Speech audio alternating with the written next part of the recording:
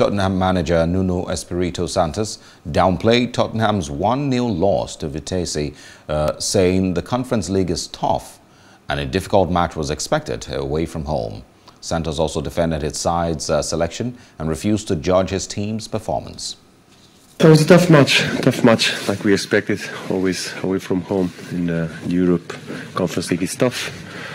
Um, I think we we compete well. We compete well in terms of attack. I think we should should finish the actions better.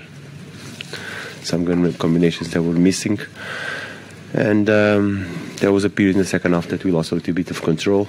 Um, but in terms of lack of focus in the in the moment of the goal, details that that we should improve, like we always do. Uh, Conference League is always a chance to to have minutes on the players. Um, players that work hard and deserve. So this is what it was all about. So let's let's progress in terms of the group. I think we have two games at home uh, against Vitesse, against Rennes, and then we have to play Mura.